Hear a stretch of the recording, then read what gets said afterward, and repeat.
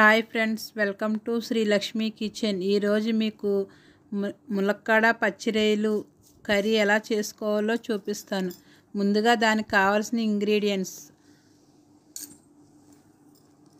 పచ్చిరొయ్యలు ఒక కప్పు తీసుకున్నానండి.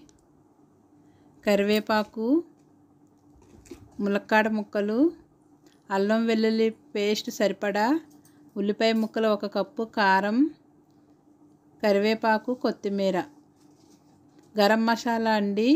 ఒక స్పూన్ ధనియాలు జీలకర్ర లవంగాలు దాసిన చెక్క మిక్సీ వేసుకున్నాను పొడి కింద. సాల్ట్ తయారీ విధానం. ముందుగా స్టవ్ వెలిగించి కళాయి పెట్టుకొని సరిపడా ఆయిల్ వేసుకొని ముందుగా మనం కోసుకున్న ఉల్లిపాయ ముక్కలు పచ్చిమిరకాయ ముక్కలు వేసుకొని బాగా ఫ్రై చేసుకోవాలండి.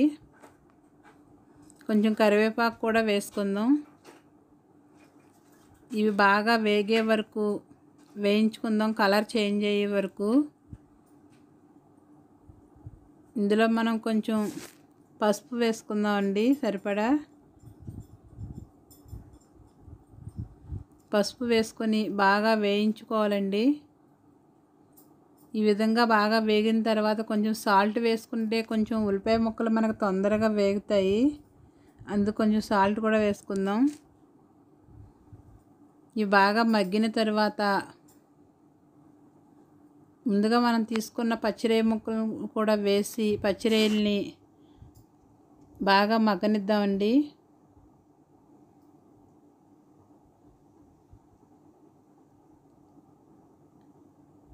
ఇవి బాగా వేసుకుని బాగా కలుపుకున్న తర్వాత అల్లం వెల్లుల్లి పేస్ట్ వేసుకుందామండి.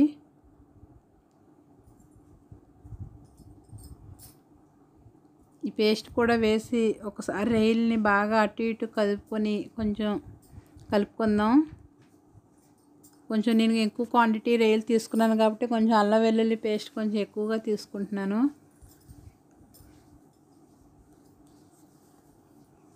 ఇవి బాగా మగ్గే వరకు కొంచెం కాసేపు అలా ఉంచుకుందామండి.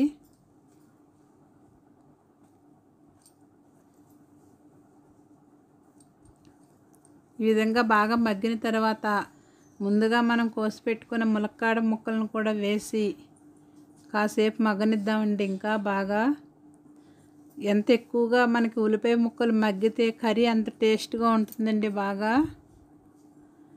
ముక్కలకి పట్టేటట్టుగా ఉప్పు కారం అన్నీ పట్టేటట్టు కాసేపు సిమ్లో పెట్టుకుంటేనే ఎప్పుడు కర్రీ టేస్ట్గా ఉంటుందని వెంటనే వాటర్ పోయకూడదు. ఈ విధంగా మనం ములక్కాడ ముక్కలు కూడా వేసి ఒక పది నిమిషాలు మూత పెడదామండి. ములక్కాడ ముక్కలు బాగా మగ్గితే బాగుంటుందండి. ఈ విధంగా మగ్గిన తరువాత చూసారా? మగ్గుతున్నాయి బాగా ములక్కాడ ముక్కలు. ఈ ముక్కలు బాగా మగ్గిన తర్వాత ఇప్పుడు మనం కారం యాడ్ చేసుకుందామండి. టూ స్పూన్స్ కారం వేస్తున్నానండి. ఎక్కువగా పచ్చిరేల్లో ఎక్కువగా కారం పట్టదు. టూ స్పూన్స్ వేసుకుంటున్నాను. ఇప్పుడు కారం కూడా వేసి ఒక రెండు నిమిషాలు అటు ఇటు తిప్పుకొని కాసేపు అలా ఉంచుకుందామండి. కారం కూడా మనకి ములక్కాడ ముక్కలకి రేయిలకి బాగా పట్టేటట్టు. ఈ విధంగా మగ్గిన తరువాత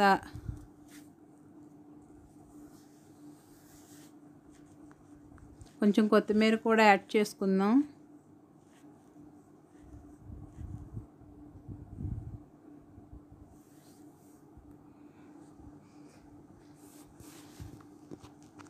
ఒక టూ మినిట్స్ మూత పెట్టి ఉంచుకుందామండి.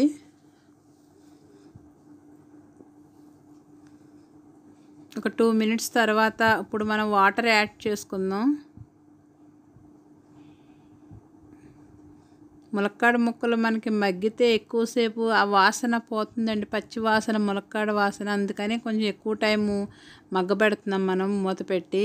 ఇప్పుడు మనం వాటర్ యాడ్ చేసుకుని కొంచెం కూర బాగా దగ్గరికి అయ్యే వరకు ఆయిల్ పైకి తేలే వరకు బాగా ఎగరనిద్దామండి.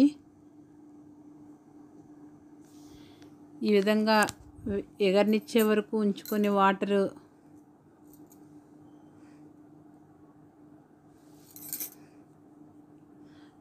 ముందుగా మనం రెడీ చేసుకున్న మసాలా వేసుకుందామండి. ఒక స్పూన్ ధనియాలు ఒక స్పూన్ జీలకర్ర లావు మగ్గలు దాసిన చెక్క కొంచెం గసగసాలు వేసుకుంటే గసగసాలు కూడా వేసుకోవచ్చండి. ములక్కాడ మనం ఉడికిందో లేదో చూసుకోవాలండి. కొంచెం మెత్తగా ఉందో లేదో. ఈ విధంగా ఉడికిన తర్వాత ముందుగా మనం రెడీ చేసుకున్న గరం మసాలాను కూడా వేసి వేసి ఒకసారి మొత్తం కలుపుకుందామండి.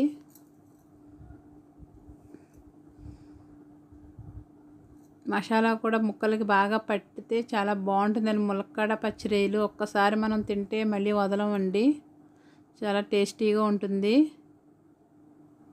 ఈ వీడియో మీకు నచ్చినట్టయితే లైక్ చేయండి షేర్ చేయండి సబ్స్క్రైబ్ చేయండి. మరిన్ని వీడియోలు మీరు చూడాలనుకుంటే మా ఛానల్ని సబ్స్క్రైబ్ చేయండి.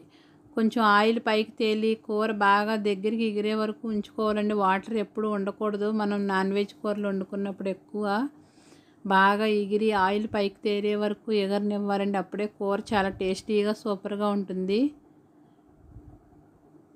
రెడీ అయిందండి. ఈ